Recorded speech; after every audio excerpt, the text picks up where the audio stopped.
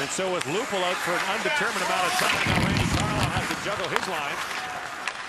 And a steal made there. Shot off the post and in James Van Riemsdyk. 3-2 Toronto. And Van Riemsdyk's got two. No five-on-five goals coming into today. They've got three. The turnover there picked off as Malkin is looking for Kunitz. Van Riemsdyk in good defensive position receives the pass, but it's the release.